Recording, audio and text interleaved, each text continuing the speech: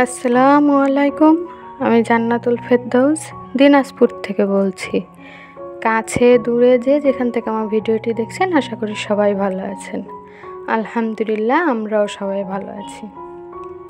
আজকে আমি আপনাদের সাথে আমার ফার্নিচার কীভাবে বার্নিশ করি সেটি দেখাবো। খুবই ঘরোয়া পদ্ধতিতে, মাত্র একটি উপকরণ দিয়ে।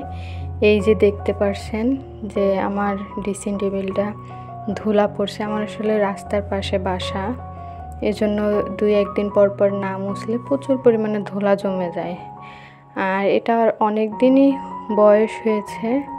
তা আমি এরকম মাসে একবার অথবা দুইবার এই ঘরোয়া পদ্ধতিতে একটু বার্নিশ করে নেই আর কি। তাতে দেখতে কিন্তু মার্শাল অনেক সুন্দর লাগে, নতুনের মতো লাগে।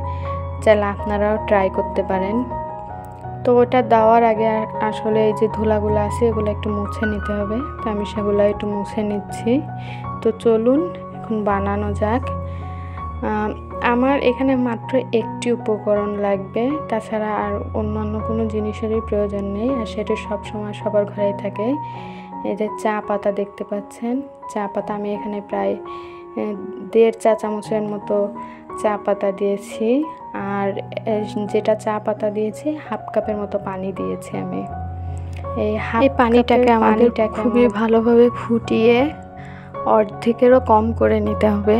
আসলে আমাদের এটি মানে একটা ড্রেসিং টেবিল বা সোফা অল্প সামান্য, খুবই সামান্য পরিমাণ হলেই মনে করেন সম্পূর্ণ পরিষ্কার করা হয়ে যায়। জন্য আমাদের যথাসম্ভব পানিটা কমায় নিতে হবে। তাহলে হবে কি, চায়ের কালারটা যত ডিপ আসবে, আপনার বার্নিশিংটা ততটাই ভালো হবে।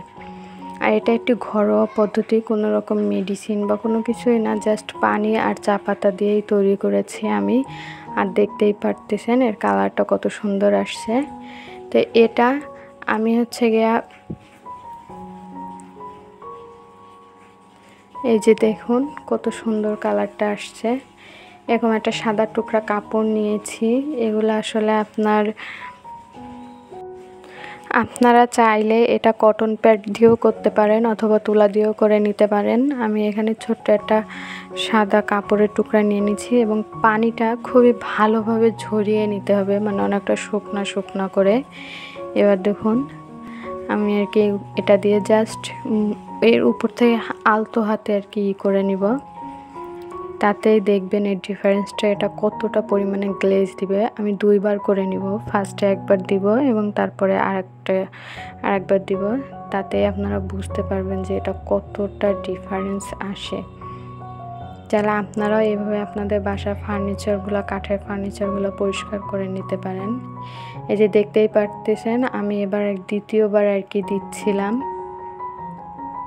তাতে দেখুন কালারটা জাস্ট দেখুন কতটা ডিফারেন্স চলে আসছে আর কতটা গ্লেজ দিচ্ছে আগের থেকেও।